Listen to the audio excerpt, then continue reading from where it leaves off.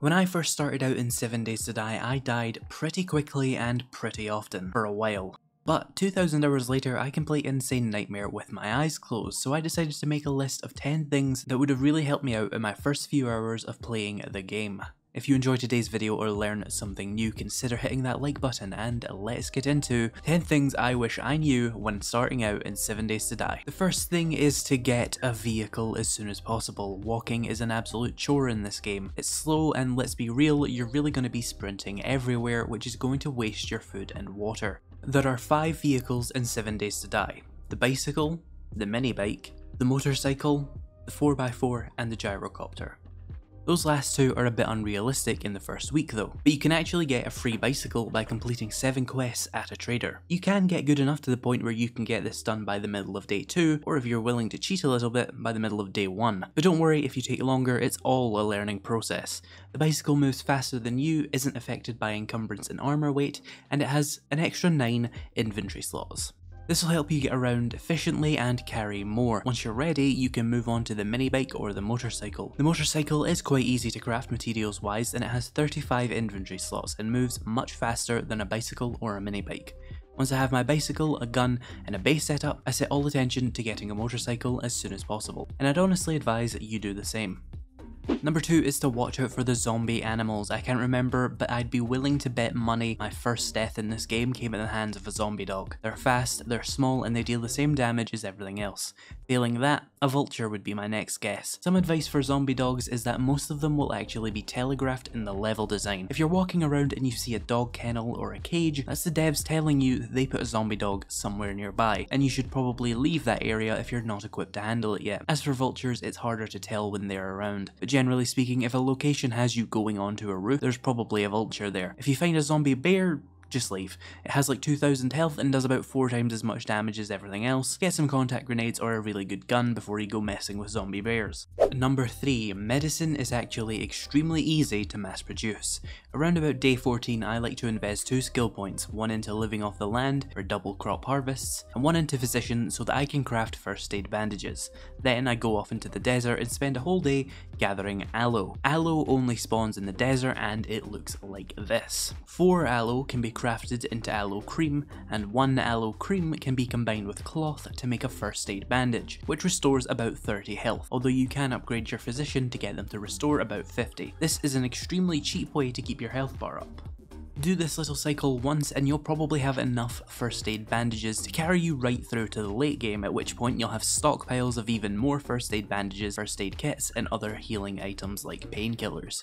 Number 4. Vending machines are the key to life. They sell food and water extremely cheaply which is really helpful when starting out and they're also the only source of the game's buff candies, like Skull Crushers which boost melee damage by 50%, or the Oh Shitz drops which eliminate fall damage. To find vending machines, you can find one in every trader and the vending machines reset every day. And you might even want to go as far as to mark any functioning vending machines you find out in the wild on your map, so you can check them again later. You can really ignore farming and hunting altogether if you keep on top of vending machines. Number 5 is how to get Forged Iron. Forged Iron is arguably one of the biggest early game resource barriers you'll encounter, but it's actually pretty easy to get some if you know how. You have three main options for getting it.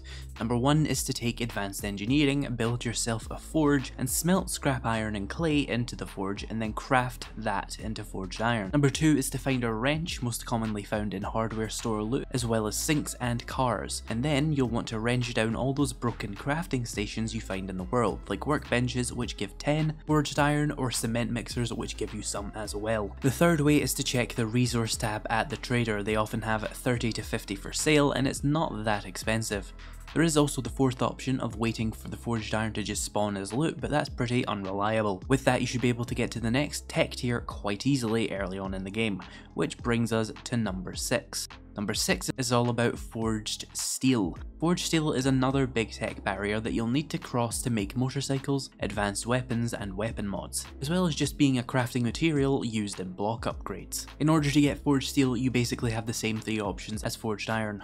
You can get a crucible for your forge, which lets you make forged steel out of iron and clay. You get a crucible, you can loot one later in the game, craft one using the schematic, which is a rare tool drop, or craft one using advanced engineering rank 5. Or you can buy one from Trader's Secret Stashes if you get your better barter up to rank 4 or 5. I prefer that last one because I get better barter for a lot of other useful stuff anyway. But another route for smaller amounts of forged steel is to take your wrench and scrap up all the street lights and power box thingies, as well as broken vending machines which will all give you a few steel. This is more of an early game source of small amounts of steel so you can craft things like motorcycles and weapons, and isn't a great way to get your base up to steel level. You'll want to get yourself a forge and a crucible for that. And of course another option is to just buy it from the trader, but it is pretty expensive and should probably be your last resort.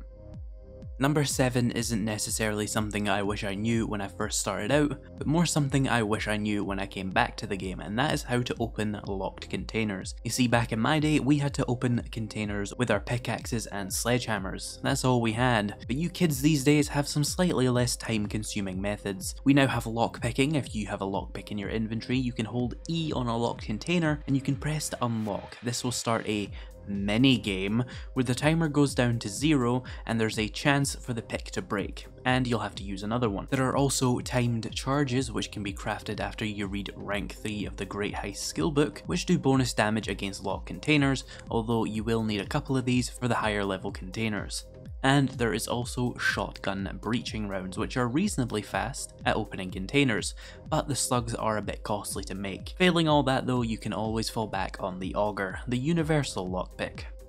Number 8. Explosives. Use more of them. Take demolitions rank 1, make pipe bombs, make a million more pipe bombs, congratulations you have won every horde night in the game from now until the day counter breaks. You can also buy contact grenades very cheaply at the traders, and these are the ultimate trump card when clearing out locations. If you wake everyone inside up, use a grenade. If you wake everyone outside up, use a grenade. The grenades just win.